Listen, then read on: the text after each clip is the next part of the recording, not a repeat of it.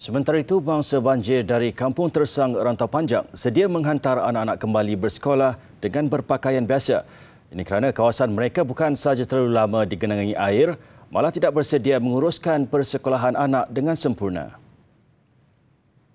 Penduduk mula kembali meninjau kesan banjir di rumah masing-masing sejak beberapa hari lalu setelah paras air semakin surut. Pun begitu ramai keluarga yang buntu dengan kemusnahan yang berlaku akibat banjir walaupun telah menyimpan barangan termasuk peralatan persekolahan di tempat yang diyakini selamat. Gelombang ketiga banjir menyebabkan rumah sebahagian penduduk hanya nampak bumbung sahaja. Mau kelik tengok rumah pun rasa macam apa sedih lah. Rumah ni habis dah tu kak.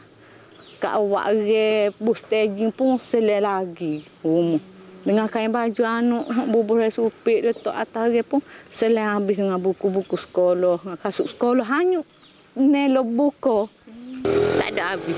Tak tahu duk mana si per tak tahu duk mana si. jadi bila start malik ngam.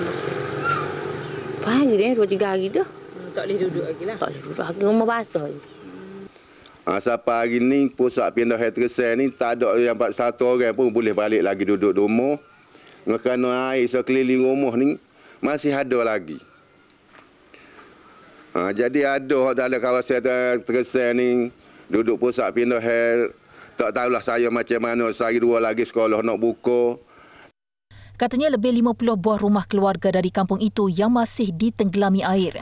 Mereka perlu menyelesaikan urusan harian termasuk membaiki serta membersihkan rumah selain memikirkan persekolahan anak.